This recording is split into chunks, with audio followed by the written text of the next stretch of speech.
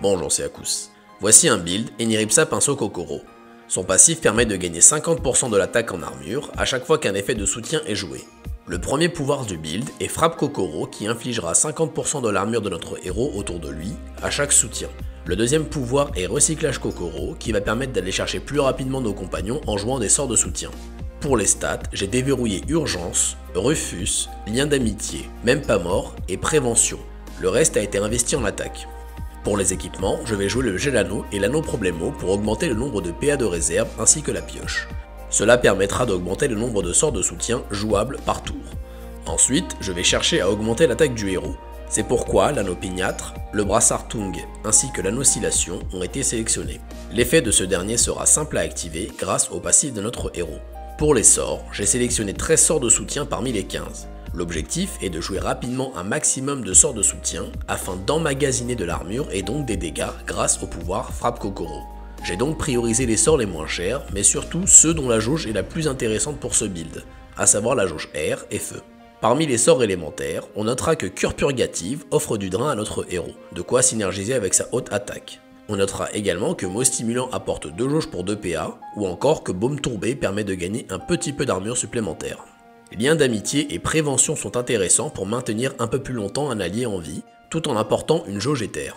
La pioche apportée par prévention est également appréciée. Urgence, qu'on utilisera surtout pour écarter un allié et déclencher un soutien, pourra éventuellement être joué sur notre héros si besoin. C'est d'ailleurs le cas pour tous nos sorts de soutien évidemment.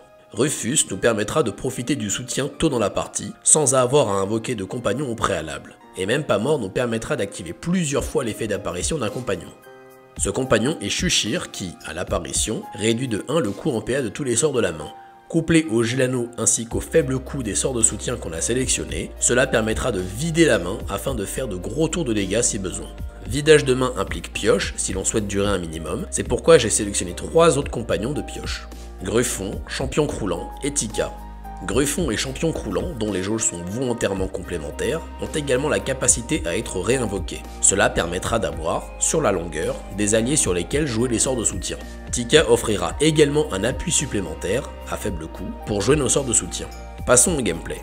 Ici on va recommencer un cycle de donjons. On débutera donc avec le donjon Thor en diamant 3.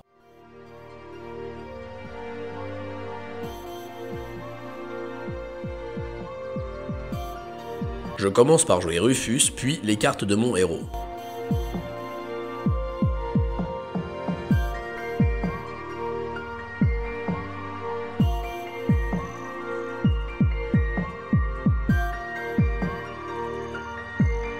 Pour ce premier combat, je vais être plutôt agressif et commencer les dégâts dès le tour 2.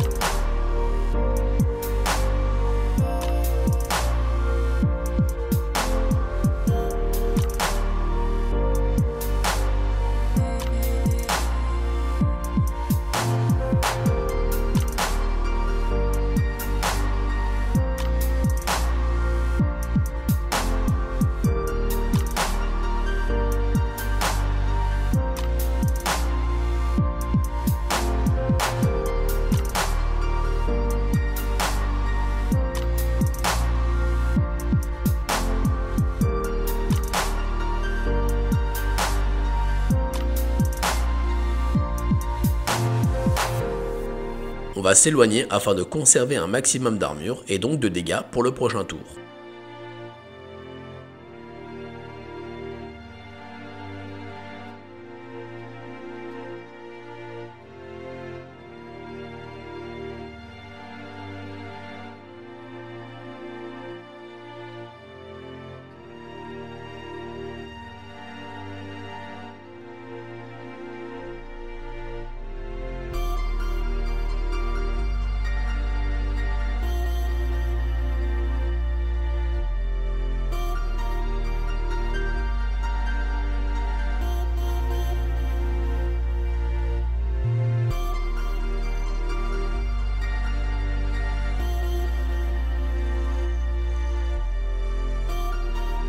Pour ce combat, je vais être moins agressif et commencer par générer de la jauge pour plus tard.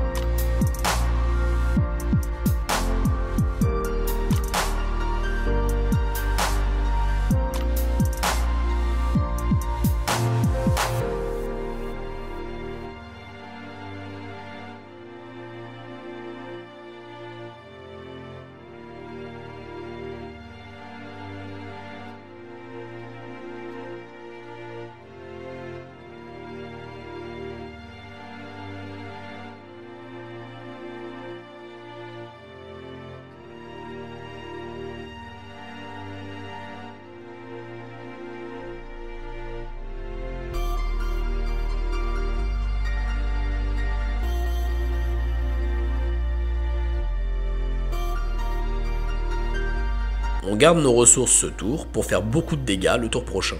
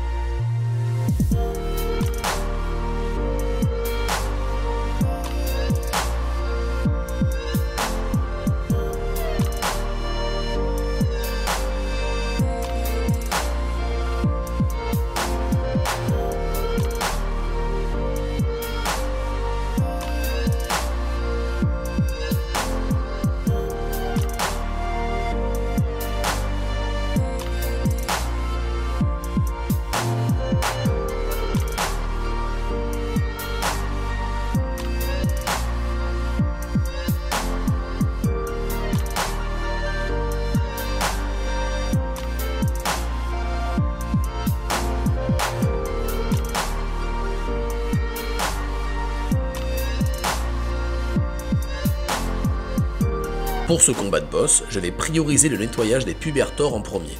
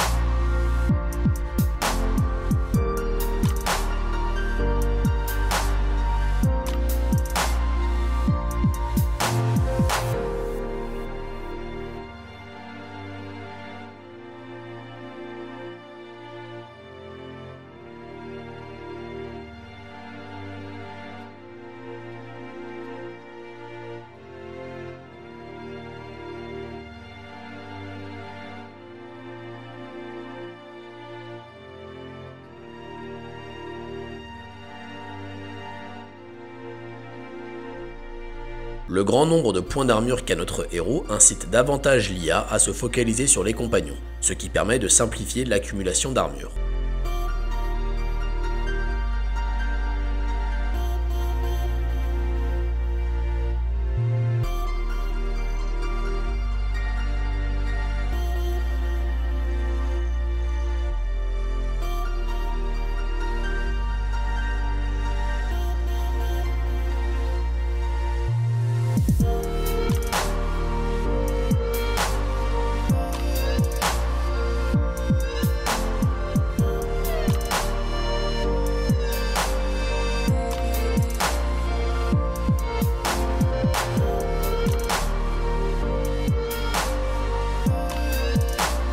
Voilà qui conclut cette vidéo.